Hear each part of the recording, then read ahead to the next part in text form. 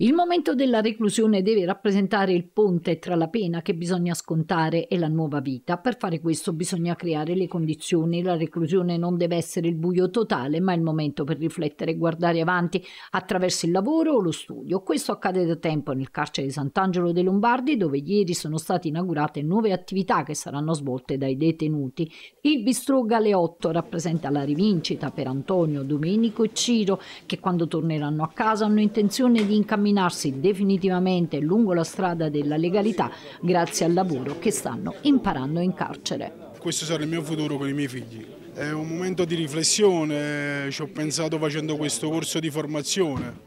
Mi sono imparato tante cose perché ho pure i miei figli che fanno alberghiero. A me non ripassa perché già l'ho fatto fuori, già lo facevo, poi nell'ambito non mi sono trovato. Con gli amici un po' di... Uh, sono trovato qui e adesso spero di riuscire, di continuare il lavoro. Per me è un'opportunità, per me e per i miei figli. Ho un figlio di 20 anni e quando esco me lo porto con me in questo campo di ristrutturazione. Io già lavoravo fuori un altro mestiere, però questo qua mi piace a me.